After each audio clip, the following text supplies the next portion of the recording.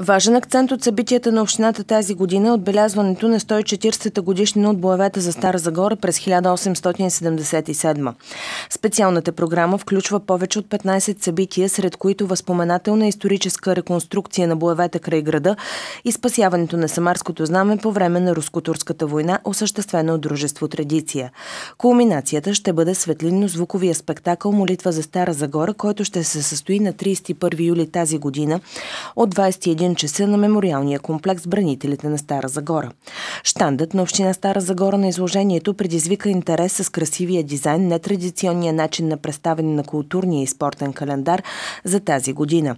Сред участниците са посолствата на Азербайджан, Бразилия, Виетнам, Палестина, ЮАР, градовете партньори на Велико Търново, Брага, Португалия, Бурса, Турция, Охрид, Македония, Серес, Гърция, Хаен, Испания, десетки български общини, музеи, неправителствени организации, туроператори и турагенти.